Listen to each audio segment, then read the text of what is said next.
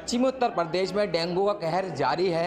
मेरठ में भी लगातार डेंगू के मरीज़ आ रहे हैं सामने। इस वक्त मैं हूँ मेरठ के लाला लाजपत राय मेडिकल कॉलेज में। आप देख सकते हैं कि डेंगू वार्ड है। यहाँ पर पंद्रह बेडों का वार्ड बनाया गया है और अलग से वार्ड बनाया गया है। यहाँ पर जो है मच्छरदानियाँ लगाई गई हैं। बताया जा रहा है कि मेरठ में अब तक 98 अट्ठानवे डेंगू के मरीज़ सामने आ चुके हैं और अधिकतर लोग ठीक होकर अपने घर भी जा चुके हैं। बताया जा रहा है कि जो आसपास मंडल के, आसपास के ज़िले के लोग हैं, मरीज़ हैं, वो भी यहाँ पर आते हैं और अपना इलाज कराते हैं। हमारे साथ डॉक्टर हैं, जो बातचीत करके बताएँगे कि डॉक्टर साहब कितने लोग आए हैं? पहले एक प्लॉट कितने लोग राम- ठीक हो चुका है?